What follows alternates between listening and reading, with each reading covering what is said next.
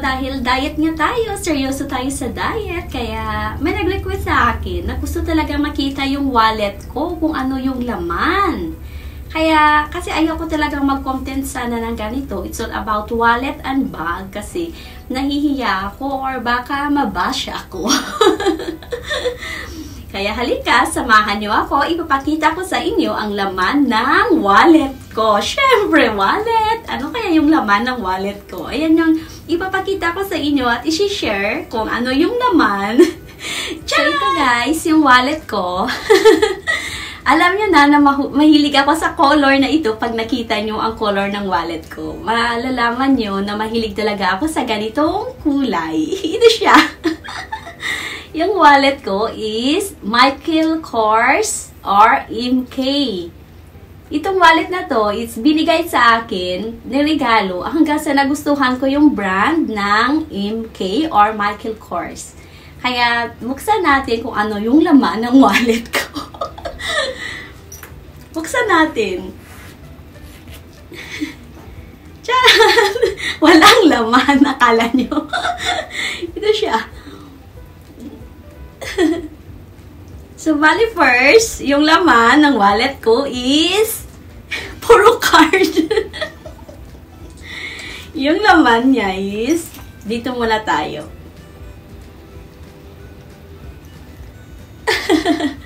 so, bali yung unang laman ng wallet ko is credit card. credit card. yung pangalawa ulit is credit card ulit. Yung pangatlo, credit card ulit. Pulo na ako credit card. Yung pang-apat,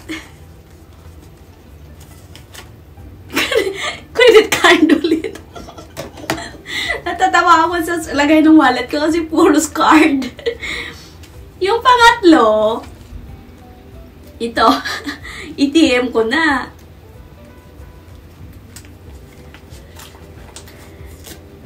Ito, ATM ko ulit. ba yan? Ang dami kong cards sa loob. Tapos ito naman, yung... Dito kasi sa Japan, pag pupunta kayo ng hospital or may clinic ka na pupuntahan, kailangan yung mga card. Kaya ito, ito ulit bank, sa bangko ulit. Tapos ito na naman, another ulit. Dami kong card. Tapos ito yung sa clinic ko. Ito yung sa allergy, sa allergy ko na ano na card na ginagamit ko pag pupunta ako ng clinic. Tapos ito ulit yung sa OB ko, sa OB gynae ko. Kaya ito ulit.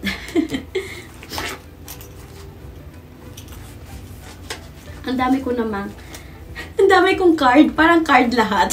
ito naman yung sa ETC or yung sa expressway sa expressway na pagpupunta ako sa ibang city dito sa Japan na gumagamit ako ng expressway, ito yung ginagamit ko. Ilalagay lang to sa sasakyan, automatic yun.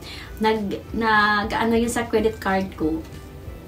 Tapos ito ulit, ETC ito, hindi pa siya, madami-dami pa siyang laman.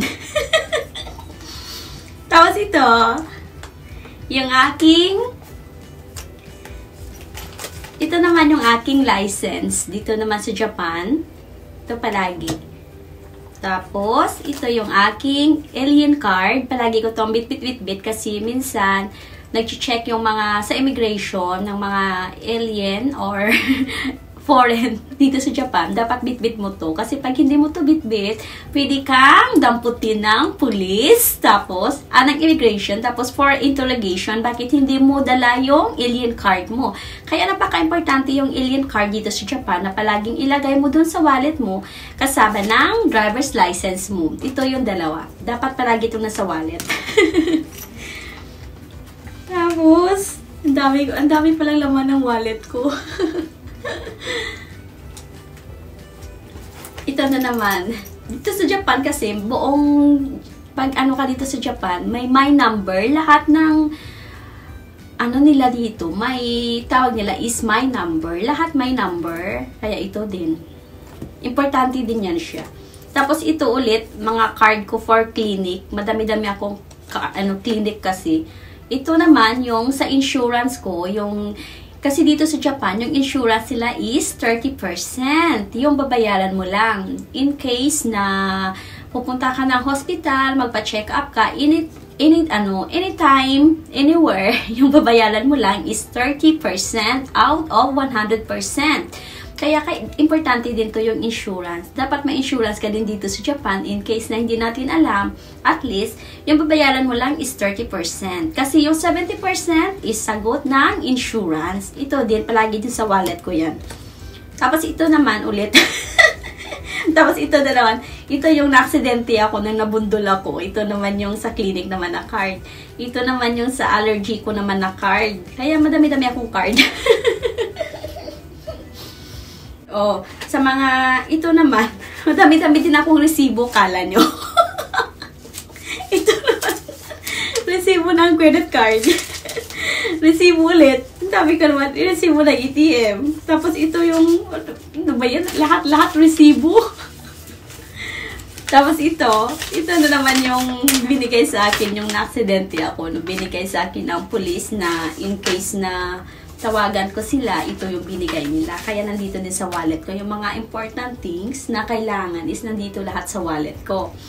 Tapos yung next is madami-dami talaga pala akong mga ano, papel-papel wallet. o, ito na yung pinakakaantay nyo kung may pera ako sa wallet. Kaya sa mga gusto mangutang dyan sa akin, alam nyo na, yung laman ng wallet ko, puro mga card, resibo. Kaya, pag may mga musta, uh, sorry ah, alam nyo na. Joke lang. Ang laman ng wallet ko is kung magkano yung pera. Wala na. Walang pera. Ukani ganay. Mafi pulos. Uka ano, ukani ganay. Wala akong pera. Ito siya. Taran! Ang laman ng wallet ko. Yung laman ng wallet ko. 1,000 yen, 2,000 yen, 3,000 yen, 4,000 yen. Ang laman ng wallet ko is nasa 4,000 yen lang siya. Kaya, alam niyo na pag gusto nyong maghiram sa akin na mag nag-message na mga musta, tapos ganito, ganyan, alam niyo na ha, wala akong pera. Yung pera ko na lang is 4,000 yen. Kawawa naman. Pambili lang to ng ano, ng drinks at iba. Ito lang, 4,000 yen. Hindi kasi ako kadalasang nag-ano ng cash. Tapos ito, may ito pa. May gamit pa ako ulit. Ito yung sa aking bank na pang direct. Kasi nag-online net banking ako. So, bali, yung net banking na car na sa bank ko, para hindi ako mahirapan. Kasi every time nagpapadala ako sa Pilipinas for yung maintenance na sa bahay ko. Ang daming gastusan ano, napapaano ako. Tapos ito, ito yung ginagamit ko. Parang calculator lang siya. Ito, yung pag nag-online ako dun sa Pinas, sa remittance, bali, through cellphone lang siya, may application ako ng sa bank. Tapos, i-input ko lang yung one-time password galing dito. Saka mapapadala na siya agad, anytime, anywhere. Tapos ito din yung direct, pang direct to sa isa kong bank pa na nilalagay. At ito, kaya importante ito, hindi palagi ito nawala sa wallet ko. Yan na yung laman ng wallet ko ha, ito. Wala na, wala na. mm. wala na. Yan yung laman ng wallet ko. kaya, gusto ko to siya kasi alam mo pink. Kaya yung may next ako na ipapakita sa inyo yung collection ko ng MK. Dalawang bag lang ha. Dalawang bag lang muna. yung MK na collection ko. Kasi nahilig ako sa MK kasi mura lang naman siya. Hindi naman siya gaano kamahalan. Yung sa akin yung MK kasi gusto ko yung design at simple lang. Kasi yung mga malalaking bag na ano, natamad na ako magbitbit kasi minsan mabigat. Kaya nag-ano ako, mahilig ako sa mga sling bag. Kasi madali siyang suotin. Tapos, ayun, pwede ka nang gumora. Pero pag may mga lakad talaga na pang mga ano-ano, yung mga malalaking bag, yun yung ginagamit ko din. Pero pag mga pang walwal lang, walwal talaga, yung mahilig ako sa sling bag. Kaya ipakita ko sa inyo yung collection ko ng MK. Dalawang bag lang muna. Huwag na kayong magdemand ng ibang bag. Kasi ito lang muna siya. Minsan ko lang din kasi siya ginagamit, yung MK. Kaya, ito na lang muna siya. Ito yung gusto ko na kulay niya. Ayan. Ito siya. MK. Ayan. Gusto ko yung design niya. Ito yung bagong design nila ng sling bag. Kasi ito. Ah. Ayan pa, may, may tag pa siya. Hindi ko na sabihin kung magkano. Wala lang siya. Tapos ito. Gusto ko yung design niya. Tapos, ganito mo siya. Or, pang ganyan mo siya na suot. Ayan. Gusto, gusto. Tapos, i-open natin yung loob. Ayan. Ayan ang loob niya. Kaya, mas gusto ko siya, yung design ng MK or Michael Kors. Hmm. Gusto ko yung ganitong kulay kasi sa mga black. Tapos, may isa pa ako ulit na MK na sling bag din siya. Because I love MK. Ito ulit siya. Kasi, para hindi madumihan yung mga bag, no, kailangan nyo man meron, meron sila mga dust bag. Nilalabas ko yung mga bag ko every once a year na nililinisan ko siya. Pero kasi pag hindi mo siya nilinisan, nag-aalikabok siya sa loob. Ito naman yung isa ding MK ko. Gusto ko yung color nito is vanilla. Ito. Yan. Sling bag din siya. Ito medyo malaki siya. Malaki yung design niya. Tapos, ito. Ito. Tapos yung packet niya, merong sa likod, yung packet. Tapos, ayan. Kaya ito siya, yung loob. Nung loob niya, may wallet din. Meron, meron patong tag. Hindi ko pa din kasi siya nagamit din. Mahilig lang ako mamili. Tapos, parang natutuwa kasi ako na makikita ko na yung collection ng mga bags ko na dadagdagan. Kaya minsan, iwan ko kung alam mo naman kasi madami kaming babae na magkakapatid pag ayaw ko na binibigay sa kanila. Kaya okay lang. Natutuwa kasi ako mang-collect. yung collection ko talaga is bags. A lot of bags. Ito na lang muna. Pag ganyanin mo siya, malaki din. Tapos ganyanin mo din. So, bali yung total ng MK collection ko from wallet. Ito yung wallet. Ito yung bag. Tapos, ito siya. Ayan na. Tatlong MK lahat. Yan na lang muna siya. Sige. Ito nag-request sa akin na gusto makita yung loob ng bago, walang iba kundi si Bakla. siya yung may kasalanan.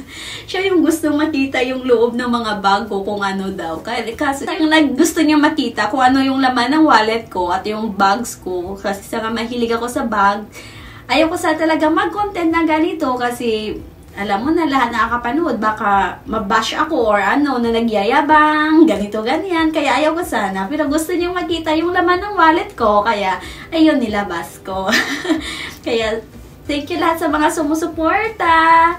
Si Tomodachi Lucky Mami, siya yung naging unang friend ko dito sa Japan. Nang dumating ako since 2010 Mm, matagal na kami friends. Tapos yung si Ate Jean, Jean Dave, siya yung matagal na friends ko din mula pa noon ng mga single pa kami. Tapos si Rosebell or is Food Glam, siya din yung matagal kong friend noon sa isang group hanggang sa tumagal kami na tumagal.